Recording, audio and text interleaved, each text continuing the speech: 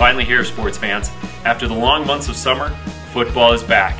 I'm Jared Lloyd, sports editor for the Daily Herald, and I love this time of year. High school games getting started on August 17th, all of the Utah Valley teams getting back on the gridiron. Two weeks later, BYU takes the field at LaVell Edwards Stadium when they host Washington State on August 30th. Now, every year, we at the Daily Herald, on the Daily Herald sports staff, put together a football special section.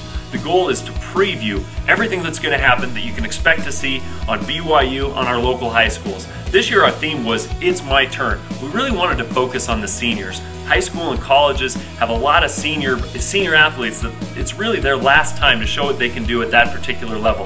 BYU had 24 of them, none more important probably than BYU senior quarterback Riley Nelson, who's going to be leading the team. We played with the idea of stepping into the spotlight and we didn't want to get too crazy and uh, conceptual, so um, I kind of settled on the idea. We, we, went over to LaVell and took a quick look around at what some of the options were, and um, just kind of settled on this idea of him coming out of the uh, tunnel and into the stadium. And it really couldn't have really gone any better.